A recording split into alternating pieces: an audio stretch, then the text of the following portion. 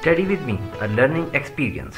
अस्सलाम वालेकुम स्टूडेंट्स शुरू करते हैं हम लोग गैस पेपर क्वेश्चन वन जो कि एम सी क्यूज़ है इसके ट्वेल्व पार्ट्स होते हैं.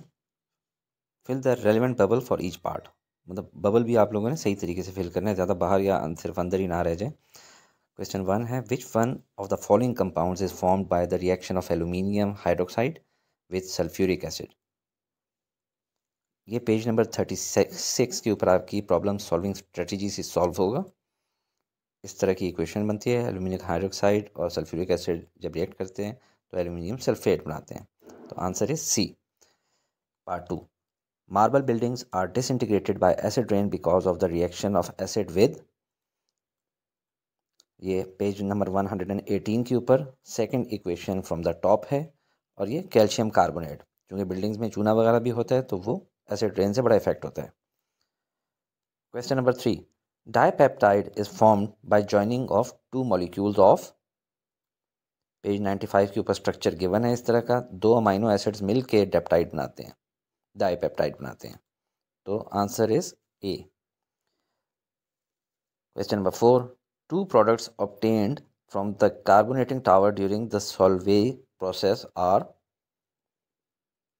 ये पेज 151 के ऊपर इसकी कंप्लीट डायग्राम गिवन है और answer is sodium bicarbonate and ammonium chloride यानी Charlie coming over to next question question number five the end product of the reaction of acetylene with concentrated alkaline potassium permanganate is oxalic acid.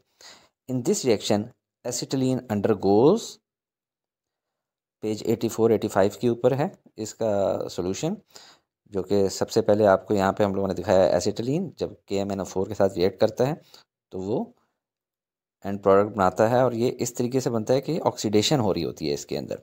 Otherwise K M N O four acetylene के साथ react नहीं करता इला ये कि concentrated alkaline K M N O four हो। Question number six one mole of an unsaturated hydrocarbon reacts with one mole of hydrogen to form a saturated compound predict the formula of unsaturated compound ये बड़ा simple है conceptual है chapter number twelve से उठाया गया है। याद रखें one mole of hydrogen can break only one double bond तो यहाँ पे वन डबल बॉन्ड सिर्फ़ हमारे पास बी के अंदर है सी सिक्स एच ट्वेल्व के अंदर। Question number seven F minus is a base because it contain hydroxyl group ionize in water can accept an electron pair या कैन एक्सेप्ट प्रोटॉन ये बड़ा सिंपल है। पेज ट्वेंटी टू पे Bronsted Lowry concept के तहत can accept proton question number eight which one of the following compounds is an aldehyde ये आप लोगों को पूरा एक टेबल याद होना चाहिए। पेज सिक्सटी टू के ऊपर इसका दूसरा नाम इथेनल भी है एल्डिहाइड्स में। और एसिटा एसिटल्डिहाइड भी कहते हैं इसको। ये इस तरह की इसकी कंपोजिशन है।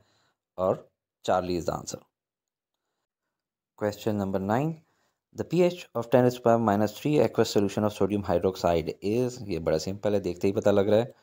पेज ट्वेंटी एट पे पी एच स्केल का पूरा टेबल गिवन है answer is three which one of the following pollutant is not produced by the burning of fossil fuels बहुत ही आसान है। Page one hundred and sixteen पे इसका टेबल गिवन है, जबकि page number one hundred and fourteen पे बड़ा कैटेगोरिकली लिखा हुआ है कि केमिकली अनक्रिएटिव है, यानी ये क्रिएट नहीं हो सकता C F Cs chlorofluorocarbons Question number 11. For a reversible reaction given below, the unit of Kc is ये भी बहुत आसान है आपको कैलकुलेशन आनी चाहिए पेज ट्वेल्व थर्टीन के ऊपर just like example nine point three part three answer is A now last question question number twelve the composition of matte produce during metallurgy of copper is ये भी बहुत आसान है बड़ा कंप्रिहेंसिव सॉल्वे प्रोसेस आपको देखा होगा। उसके मुताबिक पेज वन फोर्टी सेवन पे स्मेल्टिंग के अंदर रोस्टेड कॉपर ओर इसके नीचे पूरा इक्वेशन गिवन है एंड आंसर इज़ ए अगर आप इस किस्म की मज़ीद वीडियोस देखना चाहते हैं तो हमें कमेंट्स सेक्शन में ज़रूर बताएँ।